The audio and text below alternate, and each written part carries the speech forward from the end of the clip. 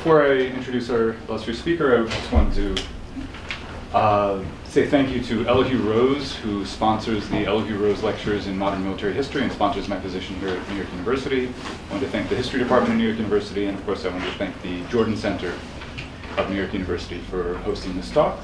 And it is an honor and a privilege to introduce Wendy Z. Goldman, who is the Paul Mellon Distinguished Professor of History at Carnegie Mellon University. Uh, she received her PhD from the University of Pennsylvania She's one of the foremost authorities on gender, labor, terror, and now also provisioning in the Soviet Union.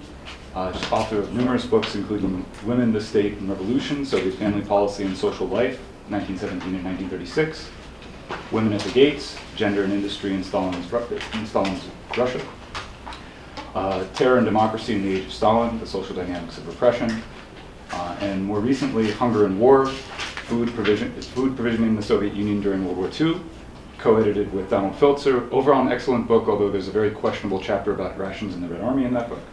Um, also the co-editor of The Ghetto and Global History, 1500 to the Present, and currently uh, finishing up, or just finished, a project, Fortress Dark and Stern, Life, Labor, and Loyalty on the Soviet Home Front during World War II, forthcoming with Oxford University Press, which is what she'll be presenting from today. Um, her articles have been translated into a dizzying array of languages, including Russian, Spanish, Portuguese, Italian, German, and Japanese. And um, she's a, a, truly wonderful and generous senior colleague, as I can attest. So I'm going to turn things over to Wendy. Thank you, Brandon. Uh, and thank you all for coming today. So actually, we have quite a bit to celebrate. We've got this beautiful day in New York City, and uh, we also had the um, 75th anniversary of the Warsaw Ghetto Uprising uh, which occurred on Friday and uh, corresponded with the uh, first Passover Seder, for those of you who are Jewish, as it did 75 years ago uh, when the last remnants of the ghetto rose. So uh, I want to talk today also about resistance of a different type and about food. So what I want to talk about today is actually a very, very small part of a very, very big book uh, that I've just finished with Don Filtzer, which Brandon talked a little bit about. Uh, food is just one part of that book, which covers actually the entire Soviet home front. So there's a lot of uh, material. Um, I think that the uh, story of the Soviet Union in World War II is actually particularly relevant for us today in a lot of ways. Uh, we know that the 20th century was marked by this great battle between fascism and socialism. And capitalism in the 1930s actually appeared to offer very few solutions uh, to large numbers of people. And although it seemed, I think, in the 1950s, 60s, 70s, uh, post-war period, as if fascism had really been permanently and forever defeated. Now, it's within a generation. I mean, my father fought in World War II, uh, that many of its ideas are resurgent. We have the intense nationalism, the racial and ethnic hatreds, uh, the demonization of refugees and immigrants, and even a kind of new populism uh, in Brazil and in many, many other places that has begun to resemble certain political elements of the 1930s. At the same time, the role of the Soviet Union in fighting fascism has largely been forgotten in the West. I think that the Cold War created a new narrative of the war, uh, one which really obscured, elided, or just kind of erased uh, the contribution that the Soviet Union had made in the struggle against fascism. When I teach a course on this and talk to undergraduates, very few of them, actually none of them know, that the overwhelming majority of Hitler's troops were in fact concentrated on what we call the Eastern Front. Um, this was the largest military confrontation in history, and it was fought out on the Eastern Front. Here's where the bulk of the fighting took place. And the losses for the Soviet Union were simply huge. So I think estimates are now a little bit over 26 million people that was 15.6% of the pre-war population. And just to put that in just a little bit of comparative perspective for you, the United States lost about 418,500 people. That was 0.32% of our pre-war population. Uh, the United Kingdom, uh, 450,700, uh, less than 1.1% of the population. Now the Axis deaths were somewhat higher. Japan lost about uh, 3,100,000, about 3.7% of the population. And Germany, higher still, uh, estimates range from um, 6.6 million to 8 million, about 8%. But nowhere, none of these countries lost either in terms of absolute numbers or percentages, anything that was even close to what the Soviet Union lost.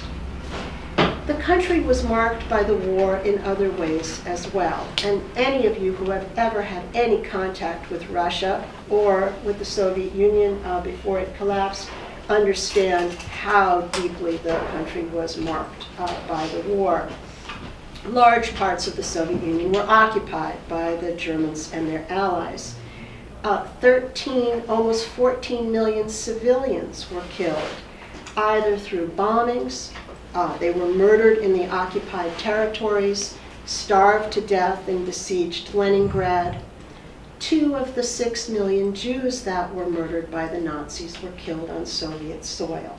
And again, we know mainly the story of the Polish Jews, but now much more information is coming out. I think it's sort of the vanguard of Holocaust studies about what happened in the Soviet Union.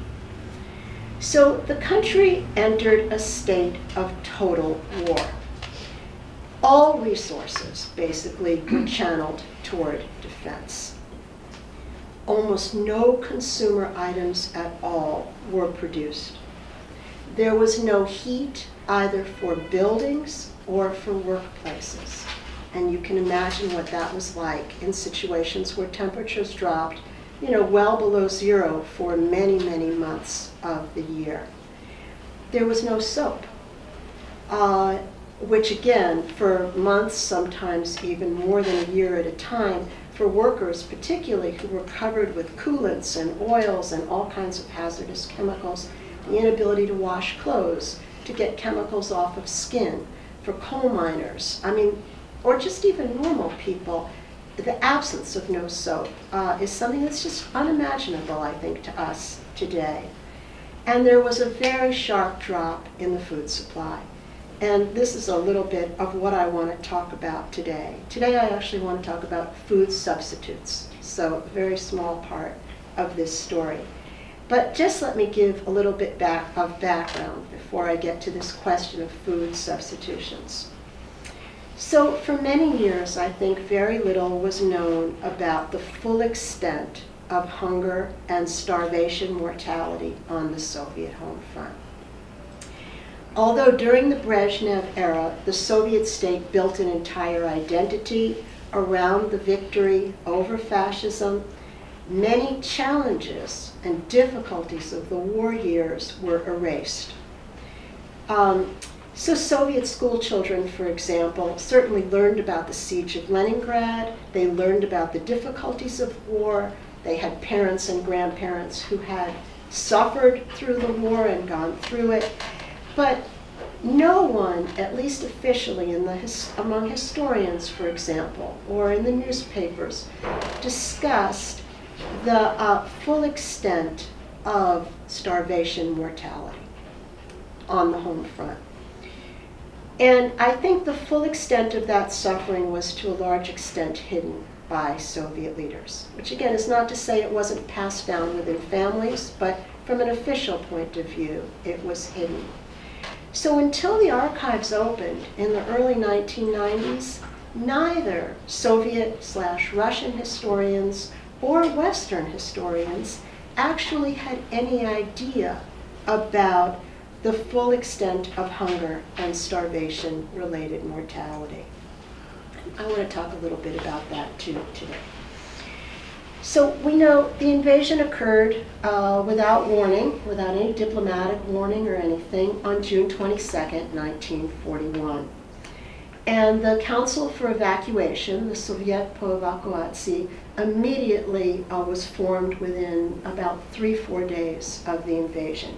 And one of the very first things that it began doing was actually not shipping out industry, although it comes to do that as well as more and more territory is lost. As a matter of fact, I think we might be able to say that this was the single most important thing to winning the war uh, in terms of provisioning the Red Army with um, uh, the ability to fight. Um, but uh, they immediately began shipping out people, uh, children, uh, grain herds, and the food processing factories because they understood right away that a lot of that was concentrated in the West and there was the danger that it was going to be lost.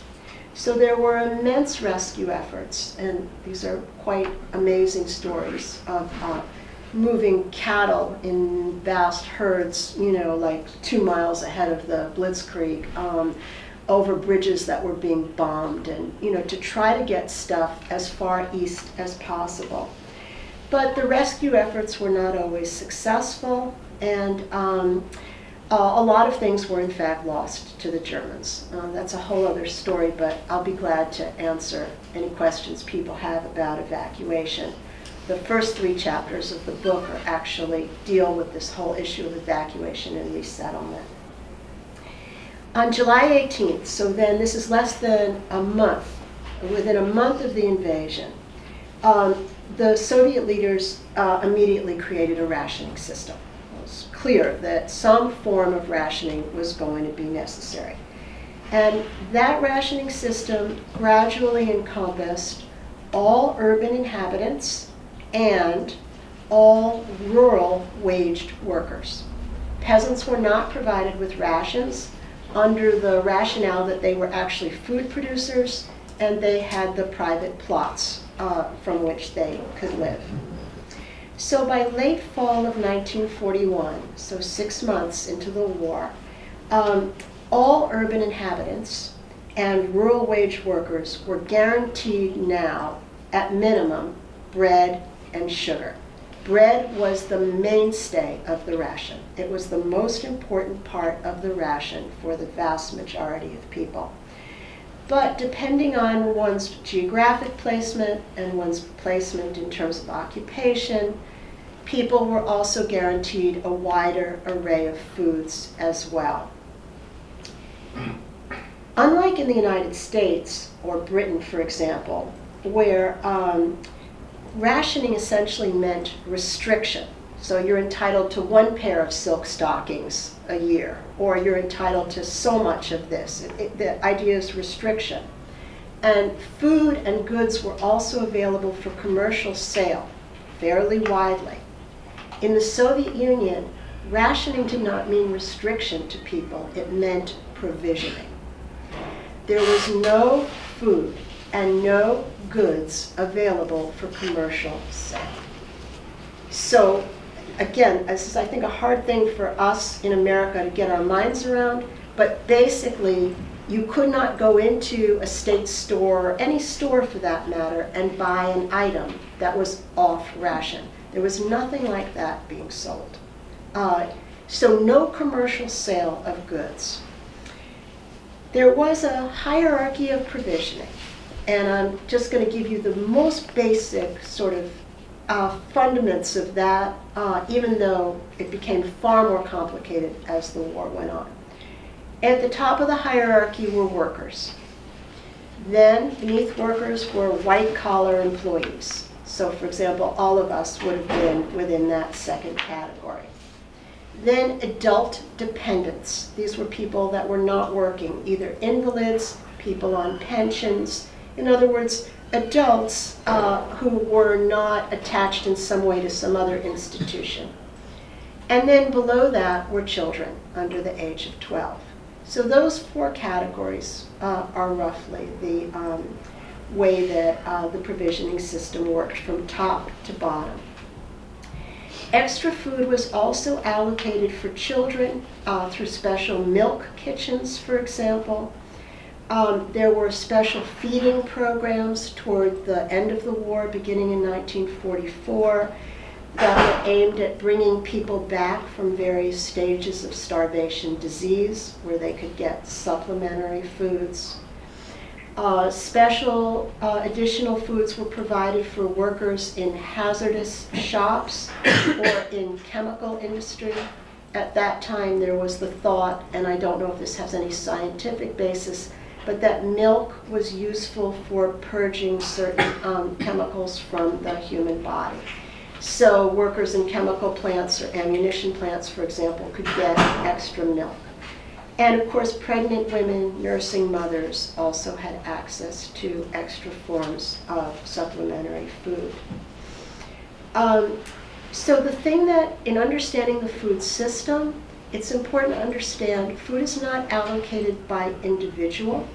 What you're going to receive is completely dependent on the category to which you belong. It's a very different way of thinking than how we think here, where we think completely in terms of um, individuals. It's all dependent on the category to which you belonged. So if we take a look, what are the basic principles of the ration system? Well, the first, most obviously, is the labor principle. So those that expend more calories uh, are going to get more food. So for example, a coal miner is going to get more food than a bookkeeper. Somebody that works in a, a blast furnace is going to get more food than a professor. Uh, so that's the labor principle. Calories out, calories in. Um, the second principle that you can see throughout it is, as well is vulnerability.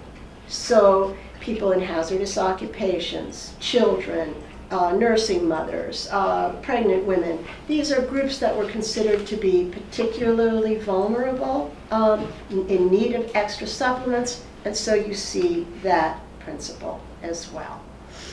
So we could talk a lot about the rationing system, but I'm going to move off it now. And you know, if you have any questions, I'll be happy that we can talk a little bit more about this.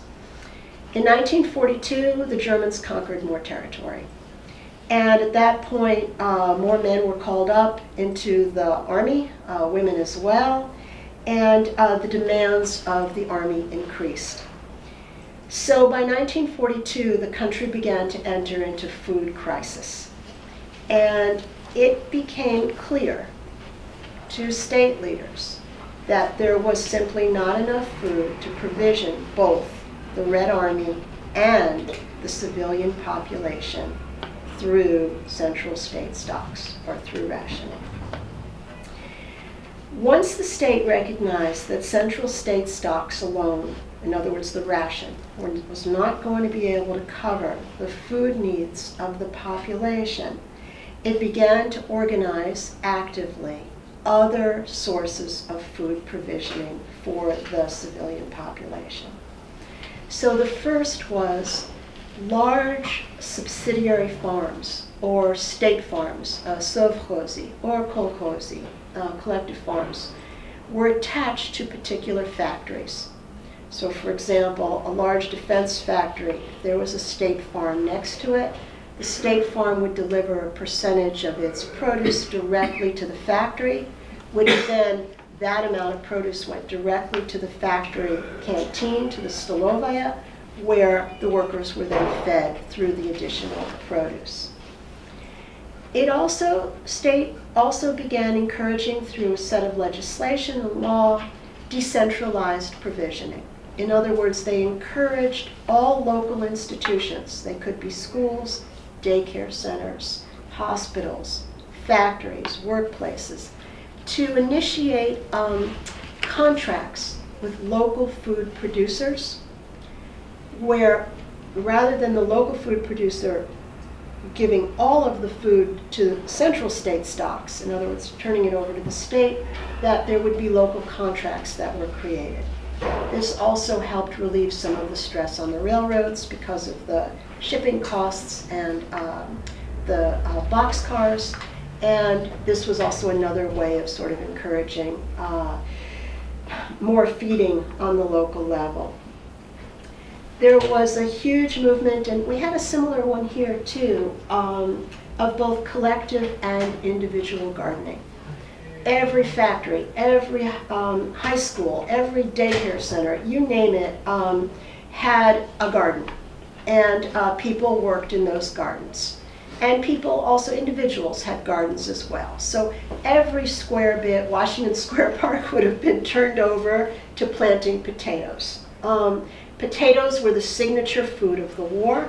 They are easy to grow, they require relatively little weeding, and the potato itself is actually a very good food. Uh, it has not a great amount of protein, but uh, a fair amount of protein, and of course quite a bit of carbohydrate uh, and count some good calories. So potatoes, everybody began growing potatoes. Um, and actually by the end of the war, about 12% of people's caloric intake was from individual and collective gardens. So that's not bad. And then finally, uh, we often see socialism as being very anti-market, but I don't think it's such a strict dichotomy between socialism versus the market. In this case, um, the state strongly promoted collective farm markets. So it encouraged the peasants to take whatever food they were growing on the private plots and market it in the urban areas. And actually set up stalls and booths and water supplies and other things so that peasants could come into the towns in order to sell the produce. Now, of all of these sources that I've talked about, there's only one, however, where free market prices prevailed. In other words, where supply and demand set the price of the food. The ration was, the food was highly subsidized. Food in the stolovayas or canteens, highly subsidized. But in the peasant markets, uh, the uh, kolkhoznye rynki.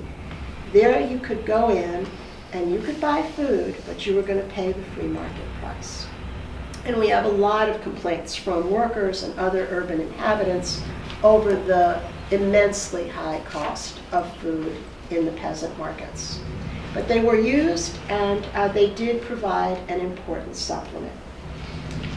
Most of the food, however, that people consumed was provided through rations. 68% of the food that people consumed during the war was provided through the ration. Okay, in 1942 to 1943, which is kind of the lowest point that's of the, uh, the nadir of food provisioning, people could not live on the ration and civilians began to starve. In the eastern industrial towns, which were the very basis of defense production for the Red Army, um, starvation tuberculosis was the single largest cause of death for people of working age. Huge numbers of workers in towns like Sverdlovsk, Gorky, and other towns were actually in various stages of what doctors in Leningrad and in the Warsaw Ghetto had begun to understand as starvation disease. In other words, a disease that has a precise set of stagings that they began now to outline and to understand.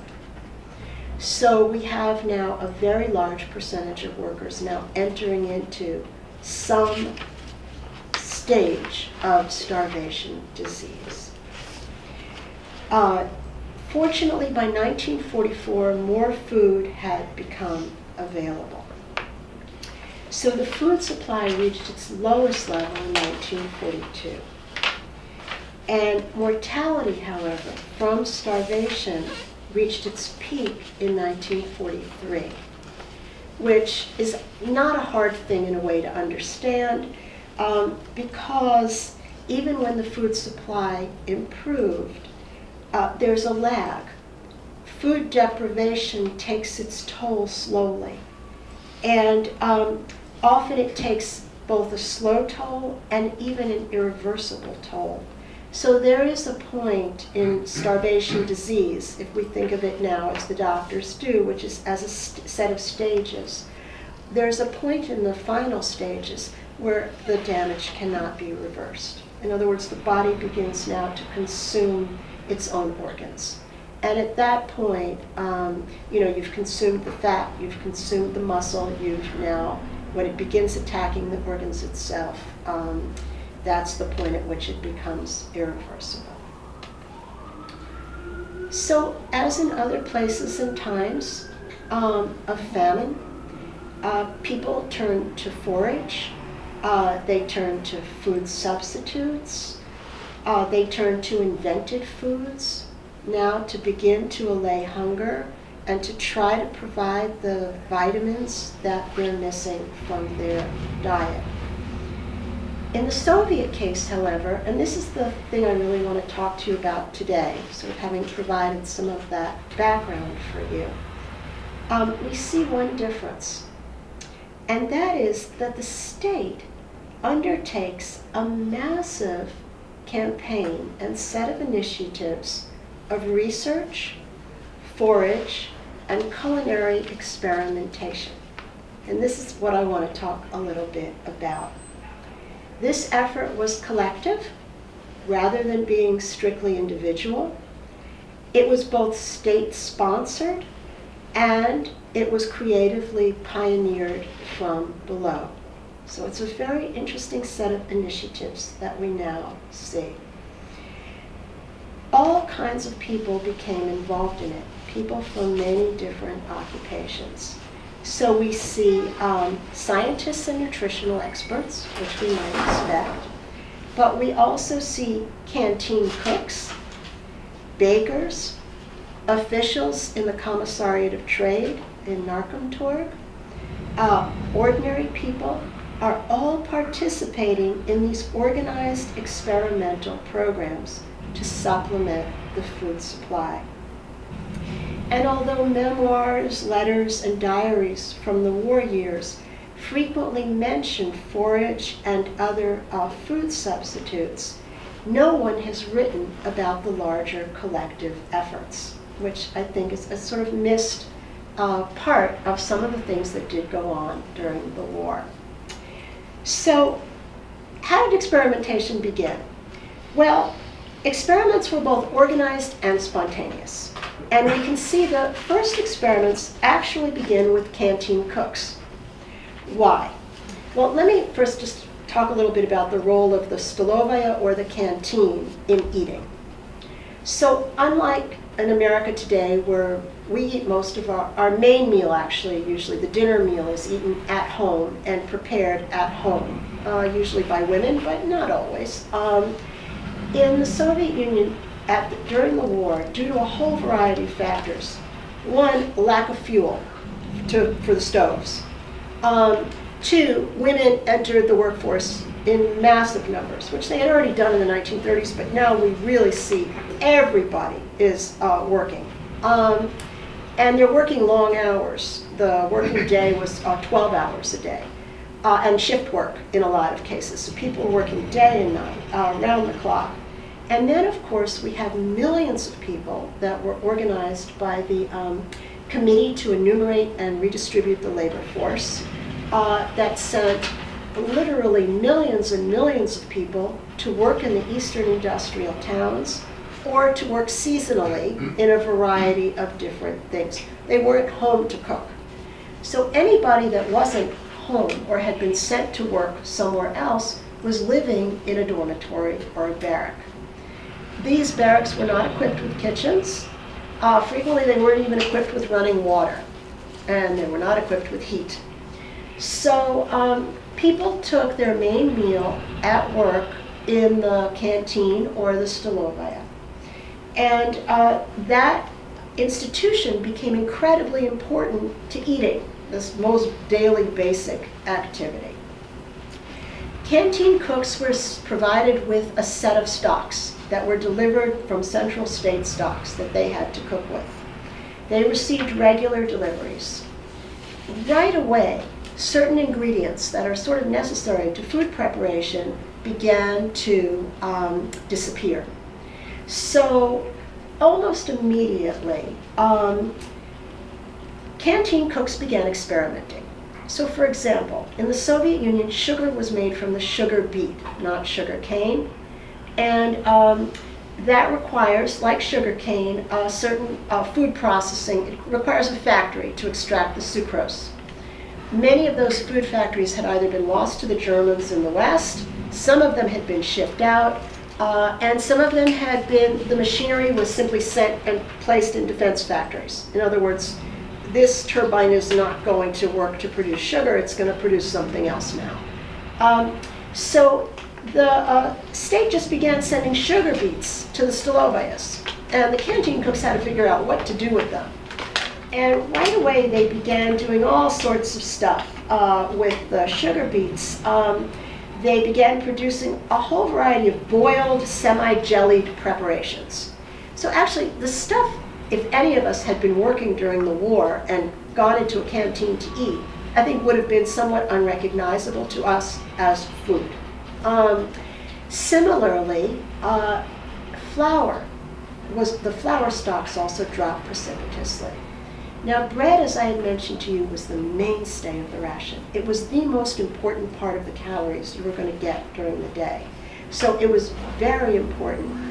If a bakery closed because uh, lack of fuel closed the water pumping stations in uh, a town, and then they couldn't get water to the bakeries or they couldn't heat the ovens, this was something that the party immediately launched an investigation in. So if people went without bread for three days, I mean, people were very close to the bone already. Three days without food was a serious loss. So the closing of bakeries merited immediate attention from the state and the party. That's throughout the archives. I mean, you could see all the correspondence. When the bakery shut down in Gorky for three days, there is a, it's a crisis um, that gets a lot of attention. However, they kept the bakeries running, but they couldn't keep the flour deliveries up. So they began sending potatoes instead. And here we have a huge set of uh, experiments with new recipes. How do you substitute potatoes or other grains for flour to bake the daily loaf that was the mainstay of the ration? And we have a kind of mass state campaign. So the local trade departments, the local Narkomtorg, um, begin to organize the bakers. And uh, they provide precise instructions on what to do with the potato and how to turn it into a kind of supplement to the loaf. Um, as a result, wartime bread, I'm still hoping somebody can show me what, can actually offer me a piece of wartime bread, you know, what it actually was. But it was soggy, it was gray, it was a weird admixture of stuff from what we read about it. Um, and it resembled bread as we would think about it in name only. Uh, but it was handed out regularly, and it was an important part of people's uh, caloric intake. Now, in the Stolovayas, mainly what canteens, mainly what people ate, uh, especially in 1942 and 1943, was food was cooked in massive kettles and then portioned out to people. Um, it was primarily like a very thin gruel. It could be made with cabbage, frequently with a few pieces of potato in it, maybe some onion. Um, there was no fat in the soup, uh, no meat in the soup, and nothing really filling, thick in the soup. Sometimes they didn't even have cabbage, and they would put in just, they would throw grains in. So it's literally like a kind of gruel, a thin gruel. not many calories. And many people began suffering from scurvy. So at that point, um, the state embarked on an active program of collective foraging and all kinds of experiments with canteen workers, unions, and food officials. So the Union of Canteen Workers, which was really on the forefront of this, primarily women, mostly uneducated, uh, one generation removed from the peasantry frequently. These were considered low-level jobs. Um, they began doing an enormous amount of work, interesting work with food. Um, they mobilized groups from the factories, for example, to forage for wild greens, for nettles, and for berries. Um, nutrition experts invented a coniferous extract. It was called a chloinastoi. Um, it was a bitter concoction that was made from boiled pine needles or fir tree. In other words, coniferous evergreens. And it contained high amounts of vitamin C. Uh, it was used as a kind of juice uh, to counteract scurvy. It was known simply as Hoya. Has anyone here ever drank that? Yes? Okay. Uh, I understand it tastes terrible. Yes. Yeah. But um, it, uh, people drank glasses of the foul tasting stuff. It was shipped out to canteens everywhere and um, throughout the country. It was produced centrally. In other words, as part of state stocks, they were actually producing this stuff. And it was also produced locally, and it may also have been produced by families in the home. So it was just a massive um, kind of statewide, individual, collective effort. Some of the big defense factories uh, organized vitamin production units. So just as there was the assembly shop and the blast furnace shop and the, you know, ball bearing shop, there was the vitamin shop within the factory. Um, and one factory, for example, was producing 3,000 liters a day of Hoya. In other words, on an industrial level, uh, enough to give every single employee in the factory their daily dose of this stuff. So you think about these defense factories, right? You know, the tanks are rolling off the defense line, and right next to this, they're producing Hoya in the shop right next door. It's kind of a, a sort of dissonant, you know, idea. Um, the unions also organized workers in foraging brigades. So again, this was not individual, it was collective. People went out together as part of uh, union initiatives to gather edible wild greens. They gathered sorrel, nettles, and dandelion leaves for soups and for salads. And actually, the gathering of wild greens became a major uh, campaign throughout the country. Um, the Commissariat of Trade, part of you know the government, the state, took an active role in searching for new sources of vitamins, and they began vitaminizing or supplementing all of the um, soups that were prepared in the Stolovayas. So, for example, um, by 1944, all diners in the Stolovayas were receiving, think about the scale here, 4.3 billion doses of vitamin A, B, and C.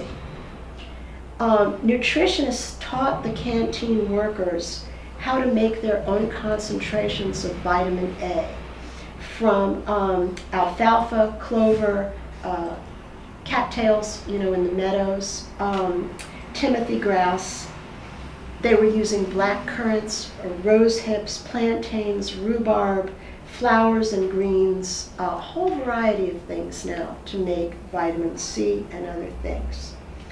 And what's interesting is that many of the plants that were now being used on an industrial level were actually well known in folk medicine and also in folk um, practices. So the canteen workers, who were usually, I would say, less than a generation removed from the peasantry, they might not have had an education in medicine.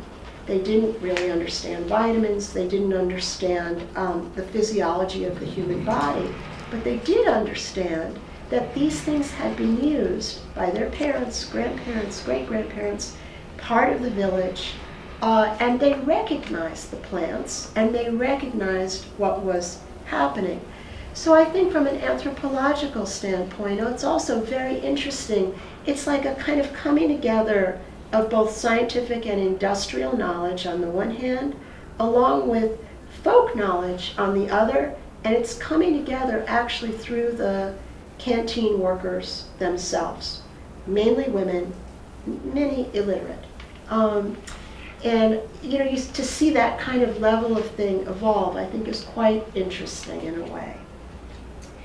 So, for example, Uralmash Zavod, which was the factory in Sverdlovsk that produced the famed um, uh, T-34 tanks, uh, they set up an entire experimental complex which produced uh, concentrated vegetable bouillon from nettles and ashweed.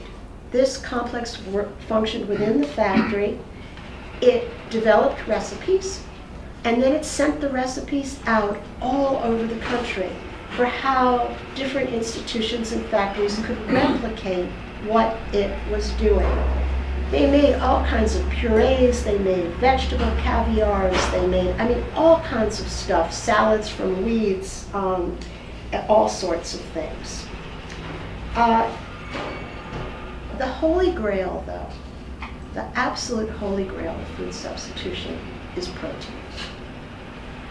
So throughout the war, there was no meat, there were no eggs, there was very limited dairy, people had very little sources of protein in the diet. And that is a critical element, you know, for all of us. Without protein, people develop severe problems, um, from anemia to muscle wastage. I mean, all kinds of serious issues. So researchers began experimenting with yeast. And it was called uh, Bielkovia it was a very, very rich source of protein, as maybe some of you who are vegans and take yeast supplements know. Um, and here too, uh, this became a mass state initiative. So the first attempt to use yeast as a protein substitute occurred in Leningrad. It began in October of 1941 as the city began to starve. And a young professor in the Leningrad Forestry Institute suggested that this might be possible. And they began experimenting with growing yeast and adding it to food supply. So scientists turned out the first usable batch in the winter of 1941-1942. And soon this stuff was being grown everywhere um, local trade departments, scientific organizations, nutrition departments, and the factories were all growing yeast and shipping it out throughout the entire country. Tons of this stuff was being shipped. I mean, it was on an industrial scale. Nutritionists were growing it on solutions made from water that was used to clean the potatoes. They were growing it on millet husks on peas and even wood shavings. When they started in Leningrad, they grew it on sawdust. So evidently it can be grown on a variety of non-food um, uh, bases, of course, which is very important. Uh, the yeast was produced as both a paste and a milky liquid, and it could be added to soup kettles problem, of course, is that it tastes disgusting, maybe even worse than Hoya. So the idea was, how can you disguise the taste of it? Uh, and again, lots of experiments with how to, how to disguise the taste of adding this now to the kettles. Um, they also began experimenting with how to extract protein from oil cake. Does anybody know what that is? So when we use um, oil to cook with in the kitchen, we use um, vegetable oil, we use uh, oil sometimes from soybeans, we can use oil canola oils, um, safflower seed oil. After uh, the vegetable matter is pressed and the oil is extracted, you're left with a mass of fiber. That's usually either repurposed in today as fertilizer for fields, or it's fed to animals as fodder. Um, they discovered, though, that it was possible now to repurpose this mass of fibrous material as um, and make uh, bouillon cube, uh, cubes out of it that had quite a bit of protein. And literally billions of these bouillon cubes now uh, were being produced. So by 1945, all of the canteens are now um, providing people who were eating them with a special vitaminized course. In other words, there was a special course that you received that was a supplement to whatever else was on your tray that was made up of substitute foods and was sort of aimed at meeting deficiencies in the diets. So, okay, let me conclude now. We're sort of running out of uh, time, I think. Um, but so, you know, researchers often write about the Soviet war years, I think, in terms of individual stories. And these are absolutely fascinating. They add an enormous amount to um, the human element of the war. But I think they leave out sort of two critical elements. One is that all human beings functioned within a structure, uh, a ration structure, a set of um, state structures, uh, and a set of state policies, public canteens, I mean, things that sort of structured human existence in that period that were very different from how we live today or how people even lived in the Soviet Union after the war.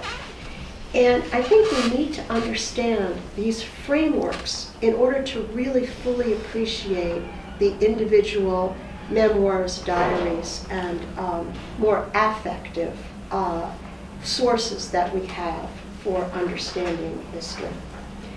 And the second thing is that I think this is especially true maybe of Western historians, but because we're so unaccustomed to thinking about things in collective terms, our sort of natural default is always the individual, um, we leave out, I think, the collective initiatives, uh, especially the state initiatives that involved millions of citizens, local trade officials, unions, um, commissariat of trade, the canteen cooks, uh, workers, researchers. In other words, we, we lose this element of the collective.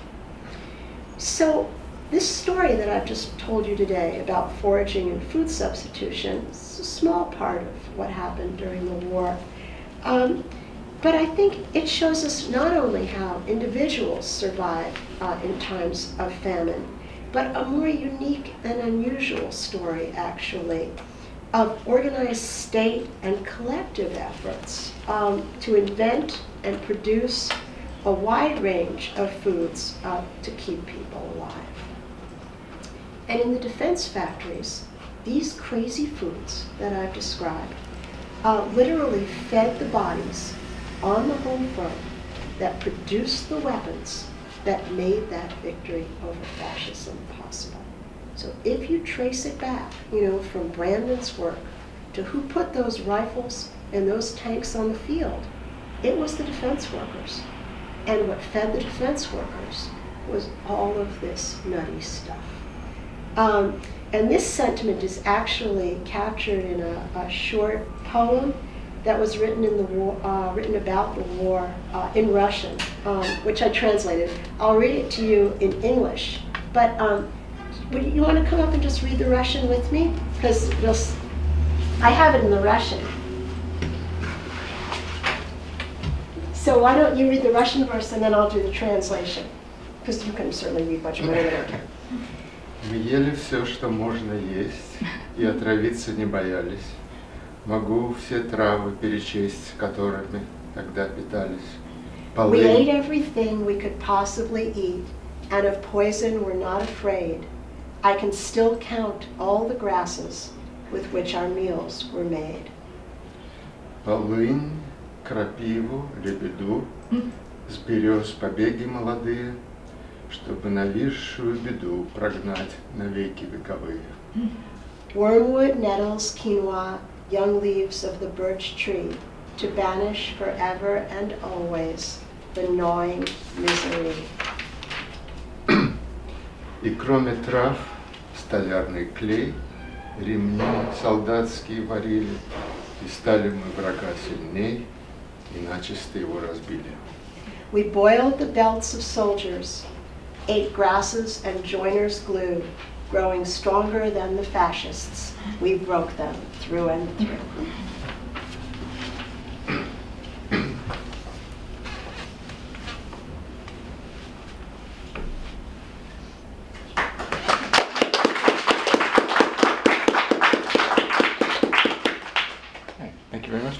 We have plenty of time for questions and comments. So would anyone like to get us started?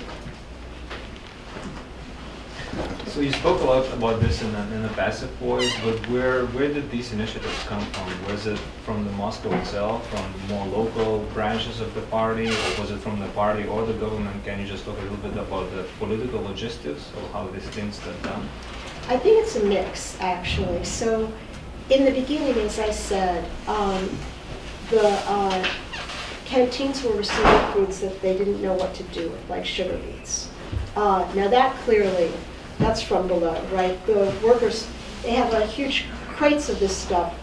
They don't know what to do. What do we do with it? So they start experimenting. They're not going to throw it away. Uh, they began boiling it and creating all kinds of stuff. That's, you see that as kind of both local, decentralized, there's no instruction from Moscow. Um, but then, uh, you know, when we speak about the state, we have to break it down, right? So um, Stalin's not sending out recipes, but uh, Narkomtorg, or the Commissariat of Trade, begins to take a very, very active role in all of this. And um, by the time they get to the point where they're creating uh, vitamin shops in the um, factories, I, and, by, and certainly by the time they're growing yeast and shipping tons of this across the country, so the Commissariat of Railways is involved with this, right? I mean, you have to make boxcar space for shipping yeast. So you can see very um, high-level government structures are then involved in uh, additional food supply. So I would say uh, from the very top, I mean, you know, the GKO, um, the uh, State Committee of Defense, they made how many decrees over the course of the war? I think it's like 1,600 something, right? I've never been through every single one of them. They're in the archives. It would take a long time, and I don't know if it's worth it. But they decreed on a lot of very small stuff, actually. You might even be able to find, you know, come 1942 spring, I'd start looking around there, decrees, that's the apex of the government pyramid, something on yeast growing. Uh, First of all, thank you for the book uh, and uh, story because no such book has been written in Russia and may never be. Uh, secondly, by way of introduction, my parents spent the war in the industrial city of Nizhny Tagil on the Urals, uh, 42, 43, and I was born in 1943. So it's a family story, so to speak. Uh, but the question I would like to get eventually to is that during those years, during the war, before the war, even after the war, 46, 47, there were many contingents of people who ate very little and worked hard. For instance, uh, people under German occupation, or people who were, millions of them, who were shipped to Germany to work. And they also had rations, they ate in the canteen. Uh, Gulag, right, they know, they knew all. And of course, peasants during famines, if you read any autobiographical narrative by a Russian peasant about 1932-33, you will find all the food supplements that you just quoted right there. Has there been any comparative study of how people survived or were fed to barely survive? For instance, the Germans provided exclusively turnip.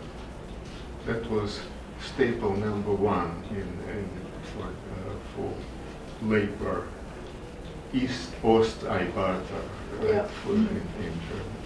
So, do you know any kind of There's a wonderful situation? book, it's called A Taste of War by Lizzie Collingham. And she, it's a big fat book. Um, it's primarily based on secondary sources, but it's comparative. And she looks at um, Germany, the Soviet Union, Japan, Britain, and I think the United States may be in there as well. Uh, and she provides a lot of comparative data on uh, food. It's, and it's very interesting. Yeah. Uh, I want to sort of piggyback off that, that last question. Um, I know that, so yeah, you, you mentioned that you know, starvation disease is this phenomenon that was observable in Leningrad under, under the uh, siege and in, in the Warsaw Ghetto. Um, but as was sort of just alluded to, the, Soviets also had quite a bit of experience with starvation in more, shall we say, controlled circumstances, specifically, you know, the Gulag.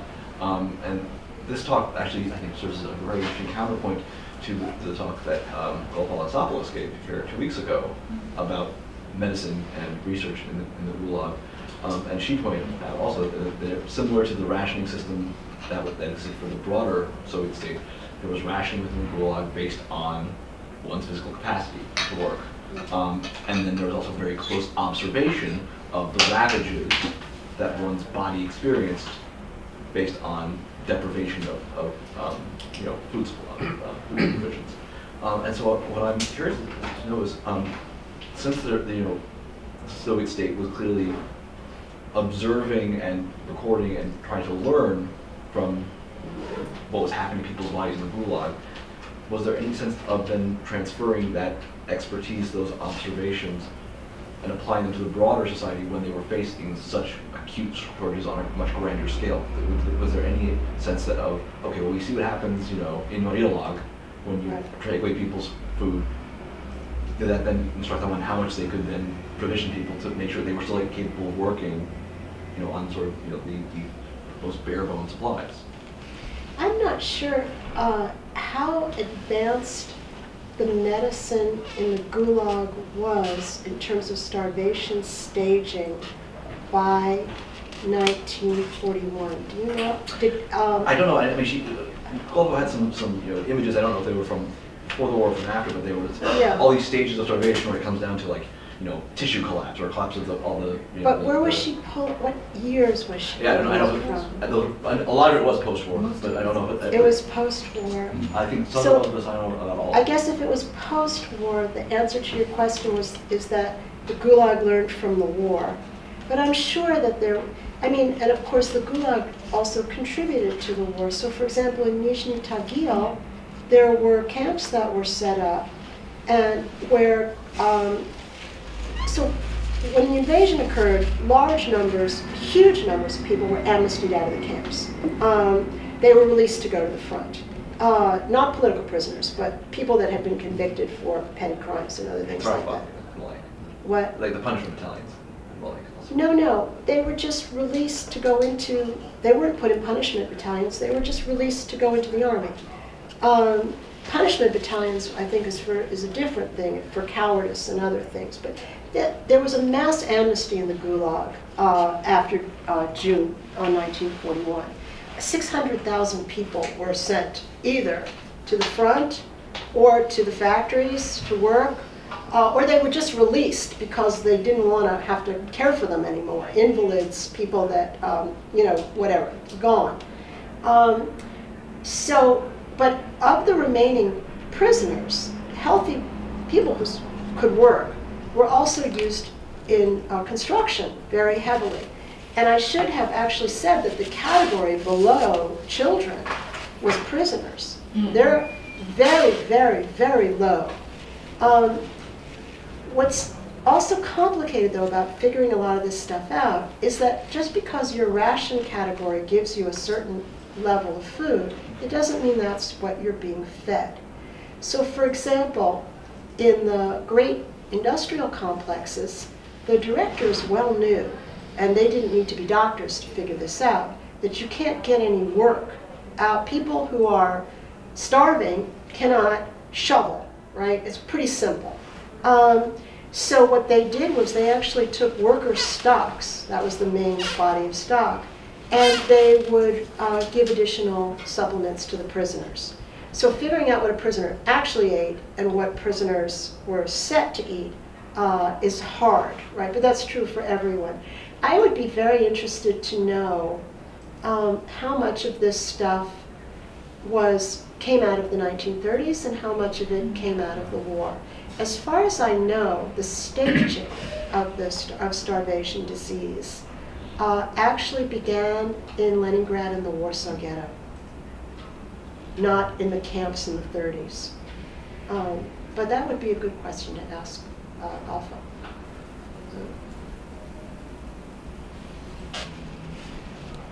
I have a question about how they, they thought about feeding people in the future. So you noted that, of course, children and pregnant women, for example, were seen as vulnerable, and therefore they were to be protected.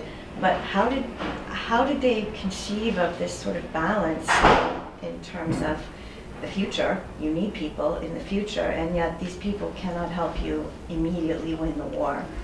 Um, was this articulated uh, directly? Um, and I'm just, I'm just curious about how they thought through that problem.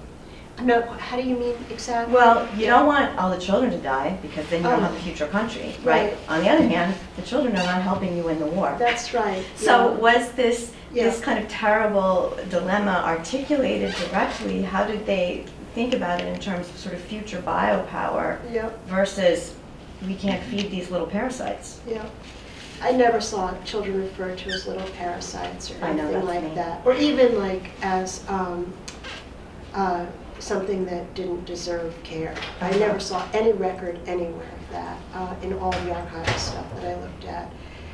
Uh, I- It was a terrible, terrible dilemma. And um, you see it, it- it's not just with children versus workers. You see it with workers versus workers. You see it with, um, uh, you see it in every family.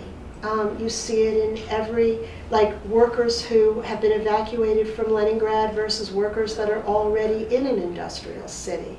Uh, it- you- The archives are just filled with, like at one point, I think I wrote, um, it wasn't like they were distributing food anymore, they were distributing hunger. So the question is taking from one group to give to another. So the one group that really, um, I think, benefited uh, unethically uh, from the war were officials. They were supposed to be provisioned as white-collar workers, but they provisioned themselves. It's called samosnabzhenie, they self-provisioned. And um, that was the one group where you saw intense resentment, especially among workers, uh, against officials. You saw that. Um, on the other hand, so one of the most common practices, for example, I said people were provisioned by group. Well, by the time you got to 43, often no stocks had been delivered to a city in order to feed the children. So th- there were no stocks that were being delivered to feed the orphanage.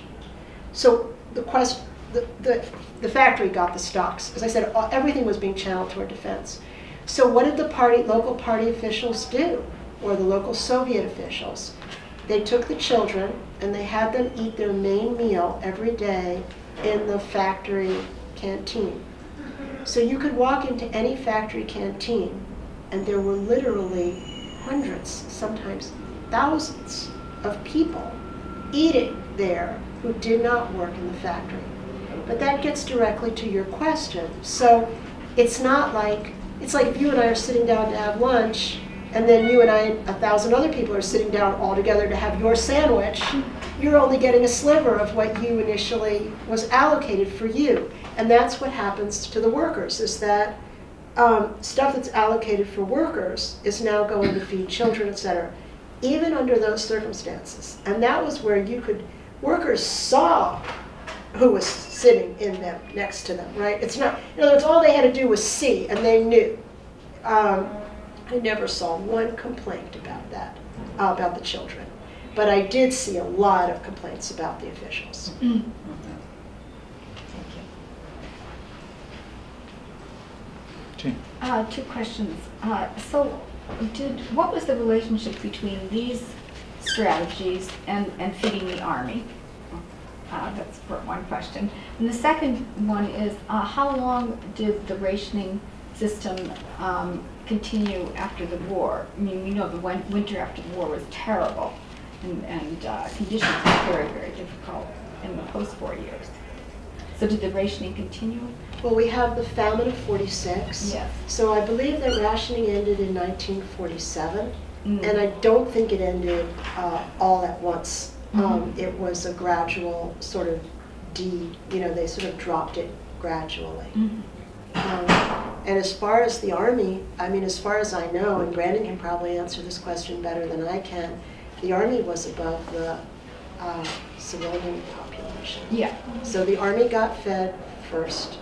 and did they use some of these same artificial vitamins and so on? Did some of this creativity well, than affect soldiers? this actually gets to a question I wanted to ask you, which is, and, and just a statement too, that everything that she describes in the civilian world, the army does. Yeah. Absolutely everything. Uh-huh. The, the Nastoy, the Подсобное uh, like, if you were a Red Army soldier, part of your job would be either substituting labor on a kolkhoz because people have been mobilized, or military units that were in one place for a prolonged period of time had their own подсобное хозяйство.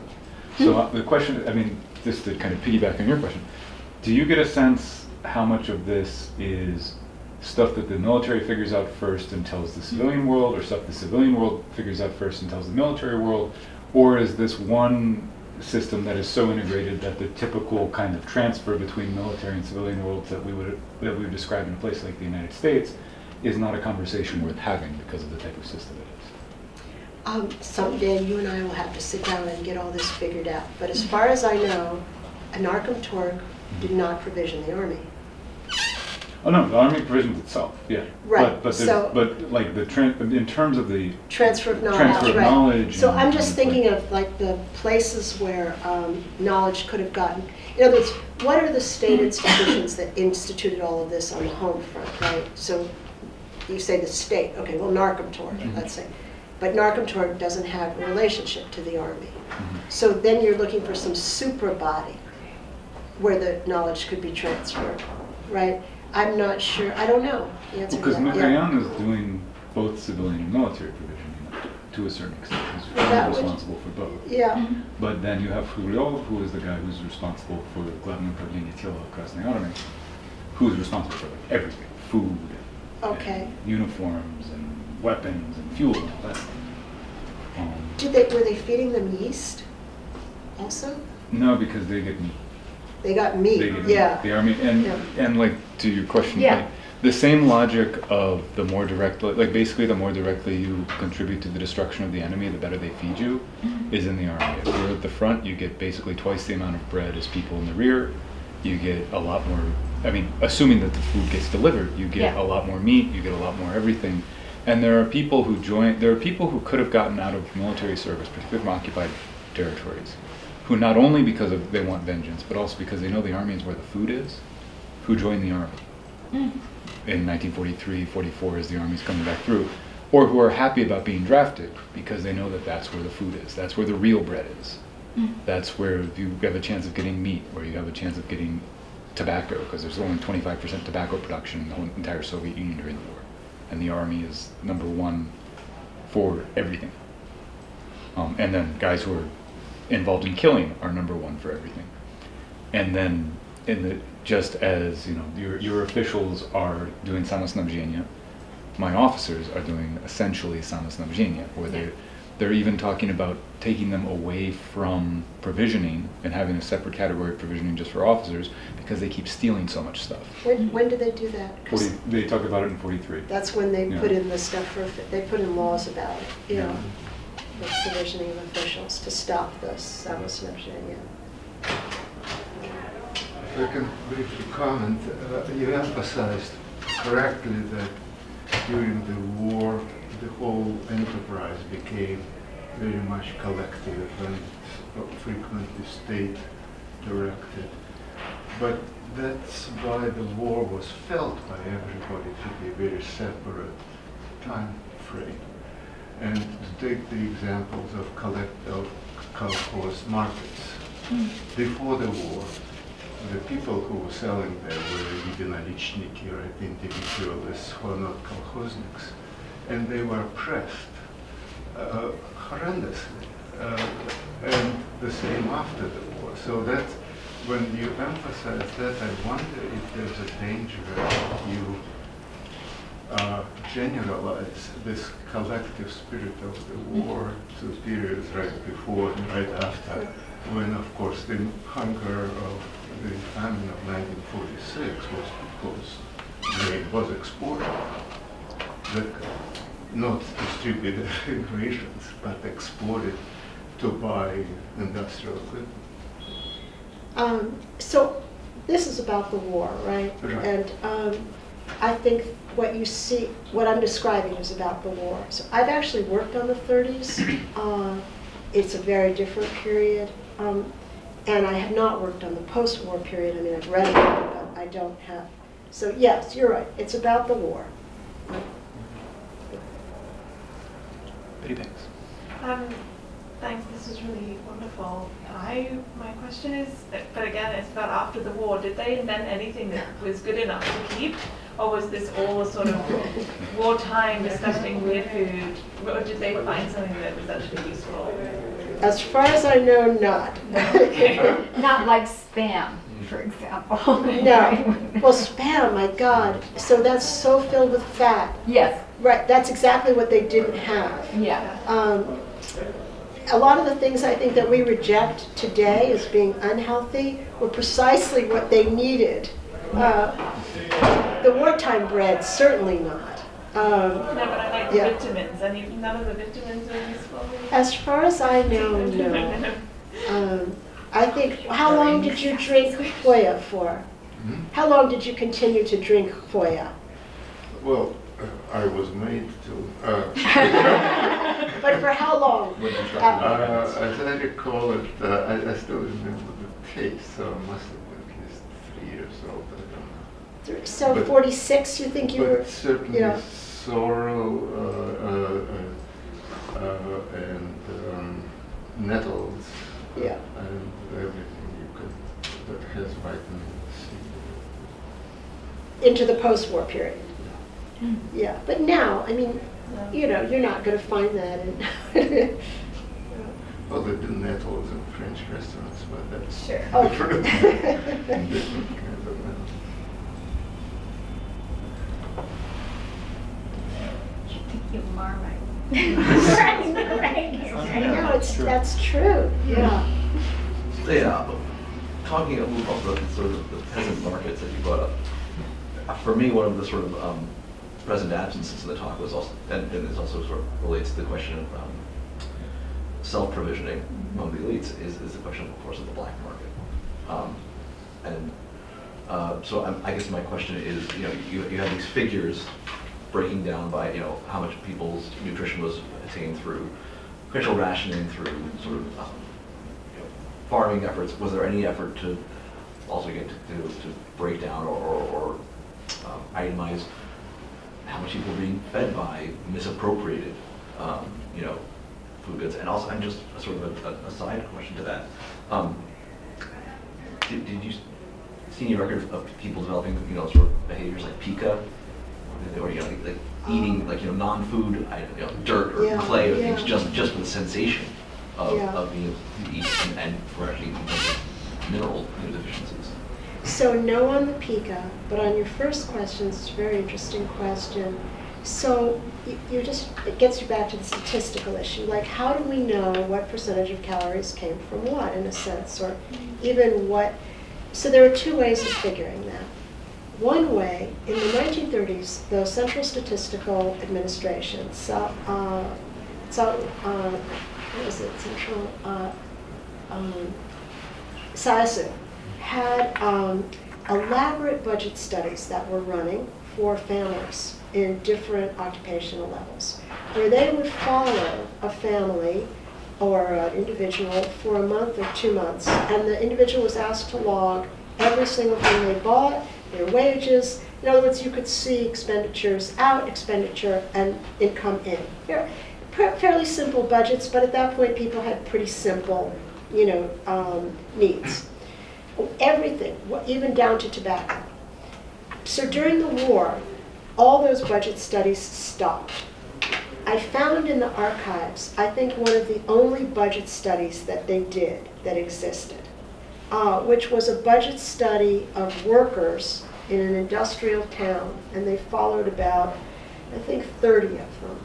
Anyway, so that gives you that, you can see like how much from the um, black market or the mar, it's actually the market. I mean, all kinds of stuff was being sold on the market. The only time it's black market is when it's stolen, right? I mean, otherwise people were trading constantly. Um, so you can see all of that stuff. And there's actually, I, I wrote a section on that in the book. Um, but the second way of looking at food is that um, the market doesn't produce food, right? In other words, the market just trades. So there's a set amount that's being produced, tonnage-wise, and then presumably the entire tonnage is being consumed. We don't know if it's being consumed exactly according to those ration categories that I gave you, but it's all disappearing. So that is the other way of looking at it. But what it doesn't tell us is what your question is, which is that how much leakage is existing between samosnabzhenia, in other words, siphoning up, right? And also, there's also siphoning down. And I gave you an example of that as well, when children were placed in canteens and prisoners were given extra food. So there's an enormous amount of that. That's also, ration categories are now bleeding into each other, but down below. So I think that, um, it- well, I would urge you to read that section on black markets in samosnabzhenia, but I think in terms of quantifying it, it's very hard. So there's a lot of material on it, uh, which I wrote up, but I think it's very hard to actually set a quantity. Yeah. I'd be interested in knowing whether Pitirim Sorokin's early work on starvation immediately after the revolution had any relevance to what you were doing. Um, I have not read it, but I know that Rebecca Manley, who did a lot, who did all this work on starvation disease and the staging and all that, it's actually how I know uh, what I talked about. Uh, she definitely used that, um, that work. Hmm, Yeah. Curious. Thank Have you read it? No, Yeah. I have a copy at home, but Oh. not through it yet.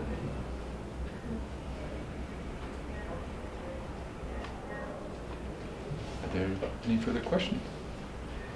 Then please join me in thanking Wendy again for a wonderful talk.